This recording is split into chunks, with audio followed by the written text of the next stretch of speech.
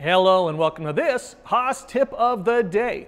So we want to program a CNC mill. So you pull out the manual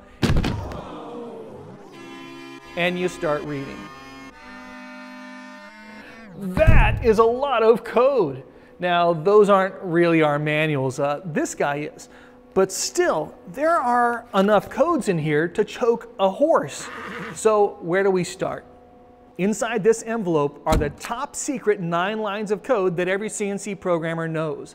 The nine lines of code that you need to fully understand before you write your first program. So stick around as we look inside. Everything for me begins with my setup sheet. So check this out. I've got a block loaded up. Now if you're tightening up those tools by hand, You have been preparing to be a CNC programmer your entire life. You might just not know it. Our moms, our teachers, and even the cookie monster started off teaching us how to, to count cookies before we could ride a bike. And by kindergarten or first grade, we took those numbers and laid them across a number line from 0 to 10, but all on a single axis. And by fifth grade, they added another axis. And we started plotting pairs in both an X and a Y in a single quadrant. And then by sixth grade, our minds were blown when they started adding in negative values, negative numbers. We now had both positive and negative X values, positive and negative Y values, and we were taught to plot coordinate pairs in all four quadrants. It started to look like a CNC machine. In fact, just about half of our sixth grade math class was basically an intro to CNC programming class. Now with these templates, they've made things incredibly easy for us. Uh, all the lines that are connected are called a shape. Shape 1, Shape 2, Shape 3. And they gave us very specific instructions. We can plot each point on the axes and connect them in order. Do not connect the shapes to each other. This makes sense. We grab our pen or pencil, we're gonna draw the shape.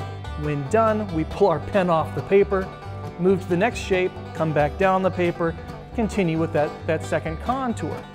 Now these templates um, are, are everywhere on the internet. Uh, you can find tons of them just by Googling graphing coordinate pairs, or you can create your own. So having mastered the art of middle school graphing of coordinate pairs, we can prepare to move from, from this to machining on actual machines. But we need some codes. Tyler, the envelope, please. Perfect. These are what I think are the nine most basic lines of code that every CNC programmer knows. Uh, before you can program this, you need to understand what each and every one of these lines does. This is where we start. Now, don't worry about writing all this down. We'll link to this document in the description of the video.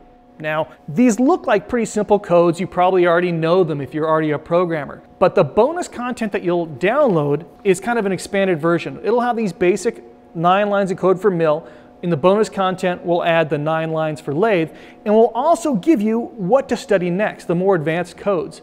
Because just about every part that you will ever program can be made using just the codes on this sheet. A really, really good resource. We've boiled down that entire manual into a single page for you. Now, right in the middle of these nine lines of code, is a little section that's labeled dot to dot XYZ locations. Now these are simply the dot to dot points that we've all been graphing since sixth grade or earlier. If you put together enough shapes, you've got a CNC program. You can engrave, you can face, you can uh, machine the perimeter of a part just by drawing it on graphing paper, then dropping in those XYZ locations right here in the middle of this program. Now this is not a how-to video, it's just showing you which codes you need to study first kind of video, but we'll give you a quick definition of each of these right now. This code is bookended by percent signs, both at the top and the bottom of the program. Our legacy controls require this, and the new ones can get away without it. but it's always a good idea just to throw them in. Now on our very first line, we have our O number. That is an O, not a zero, followed by a unique number that serves as our program identifier. The text behind, right after our O number is in parentheses. Text in parentheses is typically ignored by the program. It's just a comment that we leave for the operator. Next line, we've got our M6T1. Uh, this is our command to put tool number one in the spindle. The next line is M3S7500. Now that line commands our spindle on and off in much the same way uh, that we would command our cordless drill to work. An M3 is like pressing the forward button. It makes our, our spindle turn clockwise. If we press the reverse button, that's like commanding an M4 on our spindle. It makes the, the spindle turn counterclockwise or anti-clockwise. And the S7500 commands 7,500 revolutions per minute. That's just how fast the spindle will move. Now we're not going to go too far in depth on any of these codes. We're just giving an overview here. The real benefit of this whole video is just showing you which codes you gotta know. G54 is a particular work offset that this part uses. It references the G54 row on our work offset page. Now we've made whole videos on this, so be sure to check out the links. G0, G90, G17, these codes are part of what we call our safe startup line. The G0 commands a rapid move. It's used to go fast, not for cutting. G90 commands absolute mode, which just means that all of our X, Y, and Z moves are referenced off a single zero point. The same way there was a zero reference point at the center of our graphing paper. G17 is our plane selection, which lets the control know we are drawing uh, machining in the XY plane. Here we have our XY starting position. Now it's where our tool will go first, like the first XY position of our first shape that we drew on graphing paper. G43H1. Now, these codes work together to let the machine know where our tool is in relationship to our machine and our part in the z-axis, along the z.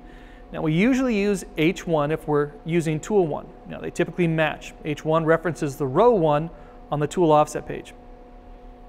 We've also got a Z move on this line. This is the very first Z move of the program. You never, ever, ever, ever want to command a Z move unless you've commanded a G43H something, H that matches your tool number, beforehand. Otherwise, the control is not going to where, where that tool is in space. Uh, now, we've made entire videos on this, so check them out. Check out the links in the description.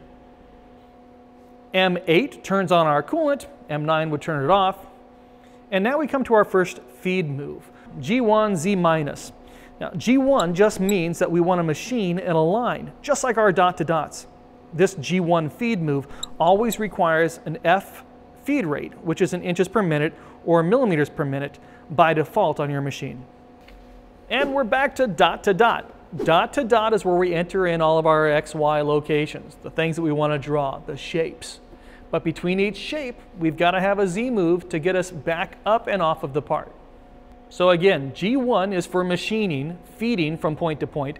G0 is for rapiding from, from spot to spot, between shapes, between cuts.